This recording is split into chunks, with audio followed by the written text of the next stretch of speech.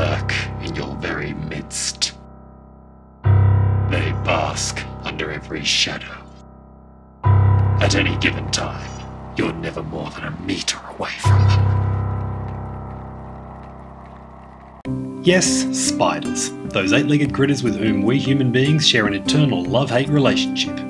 As well as our ecosystem, whether we like it or not. Despite appearances, many of them are relatively harmless to humans. While others, mm, not so much. But just like sharks in the ocean, spiders play an important role in the balance of nature. But still, people tend to be not so keen on them. I absolutely hate them. I loathe spiders. They scare the living crap out of me. They're just frightening. I think they're all poisonous. I know they're not, but I feel like they are. They're just like unwanted guests, you know? I, I didn't invite them into my home. I don't particularly like them. I just I don't want to hurt them. I just want them to just just kind of do their own thing, you know, without me actually knowing that they're there. But of all the 40,000 or so different types of spiders in the world, there is one that is feared perhaps the most undeservingly.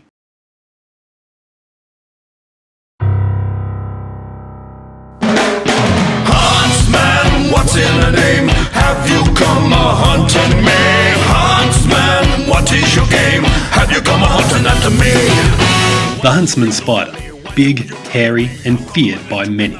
But why? On the outside of this window, there was a, a fully grown huntsman just spread eagle on the window, and I was looking at it, I was just like, what on earth is that? My dad goes, oh, that's a huntsman spider.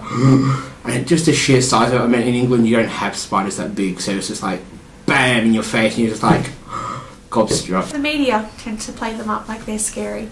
Um, movies like Arachnophobia and on shows if there's a spider, someone's afraid of them. So I kind of just join the ranks. Yep, they do get pretty freakishly large, but just how dangerous are they really? They're nowhere near as dangerous as what everyone makes them out to be. Yeah, they are big, they are hairy, they are scary, but again, they're, they're mildly venomous. Um, the most, if they do bite you and you do have a severe reaction, you'll get nausea, you can get vomiting, diarrhea, hot cold chills, but in a matter of 24 hours, people are usually perfectly fine. Now, wait just a minute, you're telling me this badass is harmless? As a matter of fact, it is so. The huntsman spider can be found just about everywhere on the Australian mainland, as well as across all but the coldest parts of the rest of the world. By rights, they should be masters of the planet, so why haven't they wiped us out? Truthfully, they prey on um, bugs, um, beetles, uh, all types of insects, but they have been known to prey upon um, white-tailed spiders, what are commonly found in houses. So that's pretty cool to know that he does eat that little spider. Don't believe everything you read on the internet. It's never been conclusively proved that white-tailed spider bites cause ulcerative skin lesions or necrosis. But still, it's nice to know that the huntsman can help keep them under control. Plus, can you imagine other household pests breeding out of control without spiders like the huntsman there to keep their numbers in check? But still, they are undeniably creepy. On the wall is just this massive huntsman. And mate, I, I, I didn't know what to do. I kind of froze, you know, because there's this massive spider and you're in a bit of a precarious situation at the time. My brother, he, I was sitting on the couch in our house and he was sitting on the other side of the room and he said to me, hey Al, look next to your head. And about this far away from me was a huntsman crawling on the wall. I can remember once I was at TAFE doing my doing a welfare course, and um, I remember we went out for lunch. The class break, we went out for lunch, and when I came back, there was a, there was actually a huntsman sitting on the sitting on the wall just like above where I was sitting, and I just froze. I just I froze. I was like, I can't I can't even go get my stuff to move seats. I had to get somebody else to go and get my stuff, and I, I was just the, the fear of just.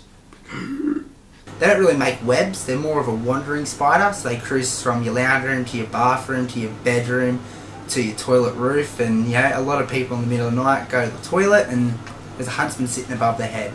And you know, in the past, they're like, oh, they jump at you, they fall at you. They can sort of have a little jump, but it's more they just drop off the roof and land on you. They're not trying to bite you, it just accidentally landed on you.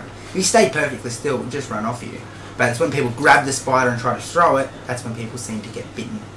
Truthfully, if you do find one in your home, don't touch it, just leave it. They don't do harm. It's when you provoke them or grab them, that's when they tend to try to bite you. But if you leave them and you walk away from them, they're not going to chase you, they're not going to hunt you down. Truthfully, they're happy just to stay in your house. But if you ever had to remove one from your house, the safest way to do it would be to get a container, go directly over the top of the spider. They are very fast, so you got to try not to squish their legs. So be very careful and do it directly over the spider. Slide a flat lid behind, trap the spider, and then you can just remove it outside your premises. There's no need to kill the spider. They do lots of good jobs in the environment. Well, there you have it. The huntsman is not your enemy. But knowing this, would you be prepared to meet one up close? I, I, I would think I would have to say yes. I, I think I would, I would. I probably would just to sort of conquer that fear of, of huntsmen themselves. If it was any other spider, I'd probably say no. But um, huntsmen, I think, I think just to sort of break down that sort of fear and confront my fears, sort of thing, I. Mate, I don't know if I had some protective clothing on or something, or you know, like maybe just on my hand, but I, I- I think I'd just have to give it straight back. No, never. They're too scary. That's okay. We won't force you. Just remember, big and hairy doesn't necessarily mean he's your enemy. Huntsman, what's in the name? Have you come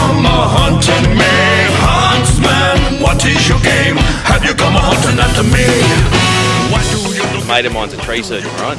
And I asked him, like, because I met another bloke who was a tree surgeon, he said you deal with them all the time. And so I said to him, have you ever had any problems with huntsmen or spiders or whatever? And he said, yeah, he, he was carrying a, a log on his shoulder and this huntsman just ran up oh, straight in his mouth. And I was like, ugh.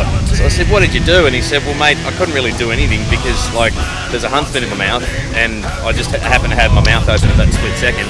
And if I bit down, then it'd bite me. So he just had to wait for it to leave. So, ugh. And how do you deal with huntsman spiders that you find in your home? I get my husband to get rid of them. he thinks they're great because they can eat all the flies and all the mozzies and all the other things, but I prefer flies and mozzies to spiders.